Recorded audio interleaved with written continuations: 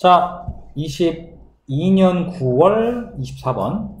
선생님이 이전에는 막 다 올렸는데 이제는 꼭 필요한 것들만 주로 좀 어려웠거나 하는 것도 위주로 많이 올릴게요. 물론 다 있으면 올리면 좋은데, 그죠? 자, 첫 번째 줄에 많은 사람들은 make mistake, 실수를 한다. 전체에서 오버가 났으니까 어떤 실수가 뒤에 나오겠죠? 오직 operating along the safe zone. 이 along은 뭔것을 따라서니까 안전 지역을 쭉 따라서 이 operating 뭔가를 작동하다, 일하다 등등의 뜻입니다.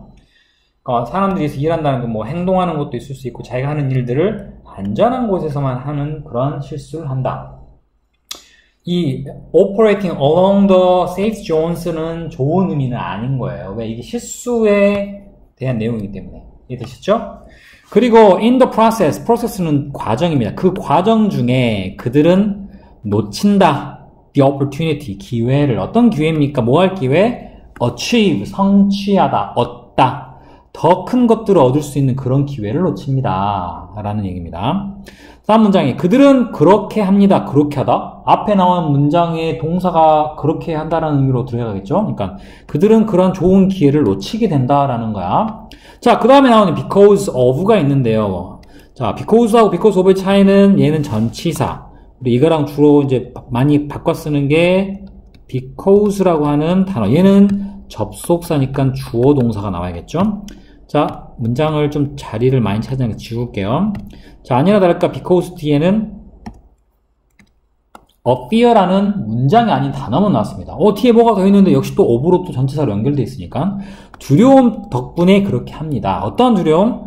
the unknown, 알려져 있지 않은, 잘 모르는 것에 대한 두려움. 그리고 and 다음에 a fear of는 because of가 여기에 지금 들어있다 생각하십니다. 또 어떠한 두려움? tread라는 것은 뭔가를 밟다, 알려져 있지 않는 path는 길들, 인생에 있어서 여러분도 아직 가보지 않은 길이 많을 거 아니에요. 특히나 어렸기 때문에. 선생님이 21살이지만.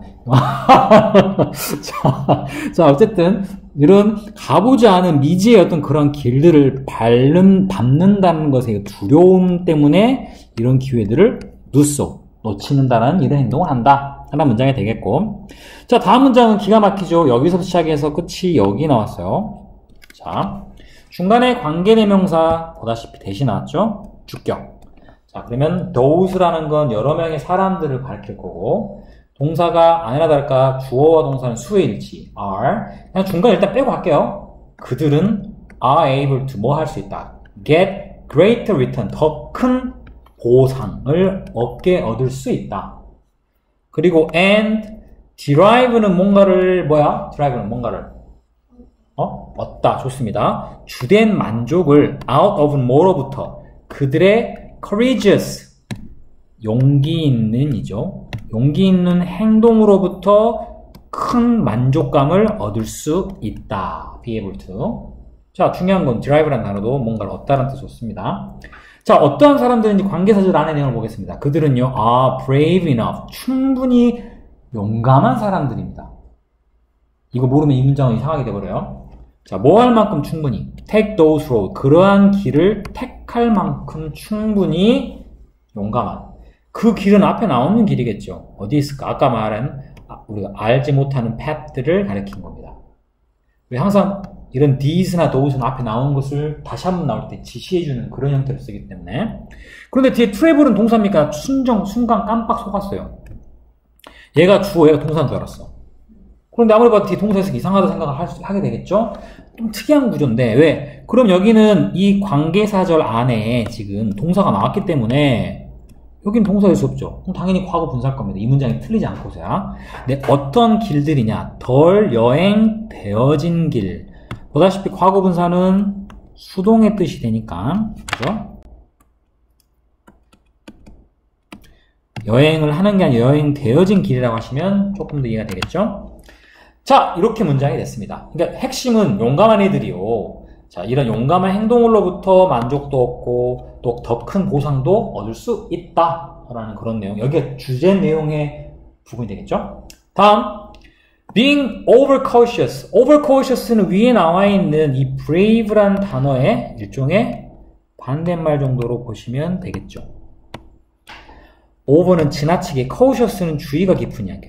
지나치게 주의가 깊다라는 것 이때는 being이 동명사로서 주어 이것은 의미할 거다 결코 좋은 뜻이 아니겠죠 여기 위에가 좋은 내용 다 갖다가 얘기했으니까 you will 아하 miss 놓치게 된다 자 그럼 재밌는 게 miss란 단어는 뒤에 동명사를 목적으로 취하면 이 자리에 to 부정 쓰지 않아요 얻는다라는 행위를 놓치게 될 거라는 걸 의미한다 뭘 놓칠까요?